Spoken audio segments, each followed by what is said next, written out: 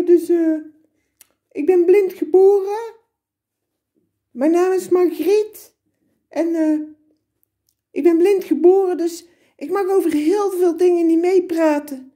Ik bedoel, ik heb nog nooit een transseksueel gezien. Of een travestiet. Ik, ik snap het allemaal niet zo goed. Ik, ja, er schijnt gewoon iets niet aan te kloppen volgens de mensen. Maar ja, ik zie ze niet, want ik ben blind. En dan denk ik soms wel eens van, kunnen ze mensen dat niet gewoon accepteren? En, en toen kwam ik van de week in de supermarkt. En, en toen liep daar een se- transseksuele vrouw of iets rond. Ja, ik weet het ook niet precies. En eh, ik heb een stukje opgenomen op mijn telefoon. Hallo. Ik, eh, ik, ik identificeer me als vrouw.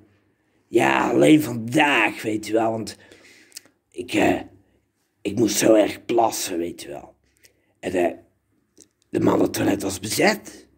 De, de- iedereen zat te poepen. Dus ja, ik moest iets verzinnen, weet je wel. Dus, en, en, weet je wel, er was zo'n eh, zo, zo, groothandelszaak met allerlei dingen. En ze verkochten ook pruiken, weet je wel. Dus daar heb ik gewoon een pruik op gedaan in de winkel met het prijskaartje eraan. En toen zei ik van, ja, ik, ik identificeer me als vrouw. En ik moet zo nog enorm plassen, dus die 20 eurocent krijgt u ook niet, want ik heb geen contant geld bij. Wie heeft tegenwoordig nog contant geld bij? Niemand meer, toch? Dus toen ben ik gewoon op de vrouwentoilet gewoon gaan plassen. En eh, ja, ik, eh, ja, ik, ik heb er geen woorden voor over. Het is gewoon fantastisch. Ik bedoel, die vrouwentoiletten stinken niet. En dan ga je er gewoon lekker op zitten, weet je, lekker, lekker op je kont. En dan, weet je je hoeft je piemel niet eens vast te houden, weet je je gaat gewoon plassen. En, en, daarna pak je een stukje wc-papier en dan dep je je piemel af. Ja, als je droog, dat doen vrouwen ook, die doen ook afdeppen. Ja, ik zou dus zo ergens vertellen. Vrouwen uit Bulgarije, weet je die doen?